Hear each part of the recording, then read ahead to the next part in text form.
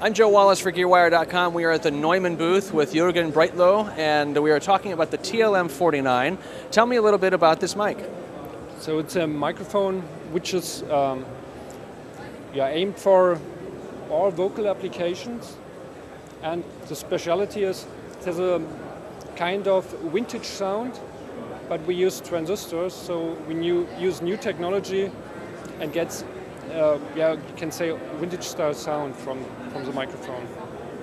Now, uh, one of the uh, attractive things about this microphone is the price. This looks like an expensive studio microphone, but uh, you're offering it uh, at, a, at, a, level that a beginning user could contemplate buying. Yeah, normally you pay several thousand euros for microphones of that size, at least from Neumann. so this is uh, the retail list price is around 100, uh, 1,500 uh, euro.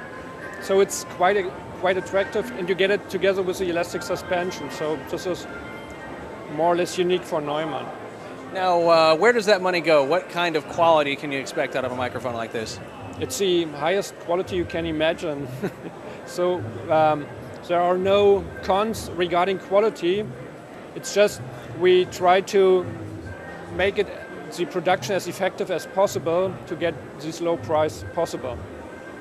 Now, uh, who should use this microphone?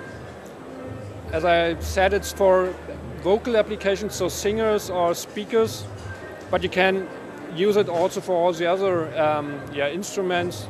So it's a general purpose microphone with a wide range of applications, but it's focused on uh, vocal applications.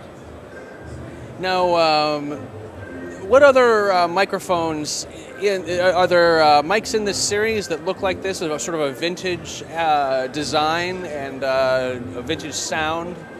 Um, we have the original tube microphones, the M149 and the um, M147, but you get now the a similar sound without the tubes, with a transistor, with all the price attractiveness. Thanks very much. I'm at the Sennheiser booth. For GearWire.com, I'm Joe Wallace at Musikmesse in Frankfurt.